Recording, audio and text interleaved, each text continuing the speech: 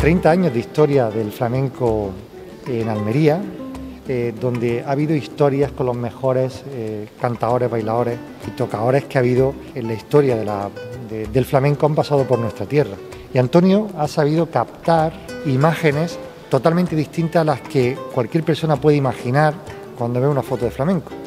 Pequeños planos que hacen grande al flamenco y esos pequeños detalles que expresan más que incluso a veces la voz del flamenco.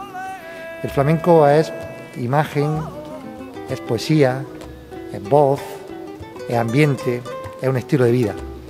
Y ese estilo de vida del flamenco lo ha captado muy bien Antonio a lo largo de una trayectoria impecable e intachable de mucho tiempo.